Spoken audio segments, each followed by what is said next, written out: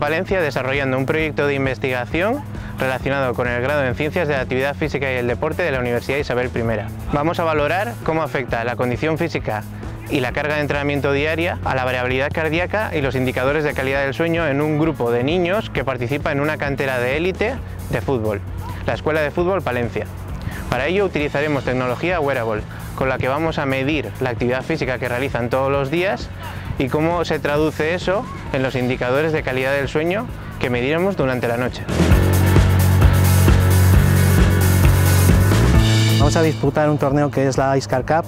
La Iscar Cup es el mejor torneo que hay a nivel internacional en categoría Benjamín, el mejor del mundo. Esto nos da la oportunidad de, de, vivir esta experiencia junto a las mejores canteras nacionales e internacionales y también nos da la oportunidad de participar, como en este caso, en un proyecto de investigación como es el de la Universidad Isabel I, que está reservado para canteras de alto rendimiento.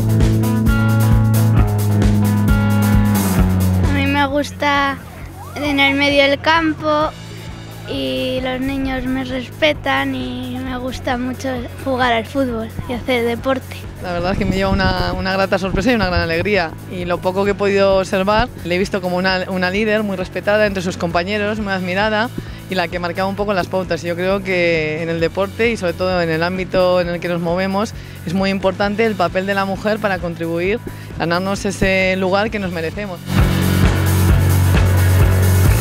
Considero que, sí que puede ser muy beneficioso para ellos, ya que eh, al valorarse aspectos como el descanso o, rutinas que tienen de sueño, van a hacer, va a hacer que, muchos niños pues, mejoren su rendimiento. En los críos no pensaba que, que pudiese tener pues importancia las subidas cardíacas o los periodos de sueño, el que corran más o corran menos. Entonces, bueno, me parece, me parece un estudio interesante. A mí me recuerda un poco eh, cuando yo he corrido en otra época, cuando te ponías un pulsómetro que te registra datos. Todo lo que tenga que ver con, con estudios de este tipo, con análisis del resultado eh, de, de, la, de, lo, de, la, motricidad, de, lo, la, del sueño, de la recuperación tras el esfuerzo, pues creo que puede ser muy, muy interesante porque creo de hecho que puede ser un estudio pionero en el ámbito de la actividad física.